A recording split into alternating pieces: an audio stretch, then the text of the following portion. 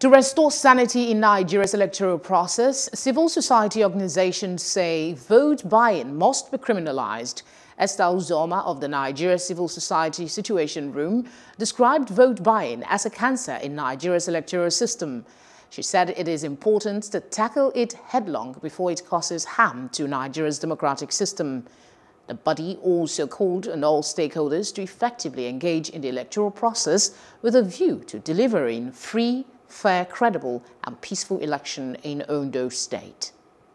INEC Chairman Professor Mahmood Yakubu stated 16 areas of improvement to be implemented in the election. With particular reference, it also announced its engagement with security agencies to deal decisively with the menace of vote buying.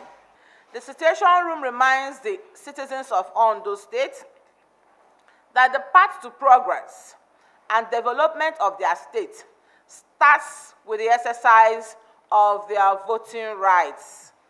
Given the assurances by INEC and the Nigerian Police Force of their adequate preparations for the election, Situation Room is calling on all stakeholders to effectively engage in the electoral process with a view to delivering a free, fair, credible, and peaceful elections in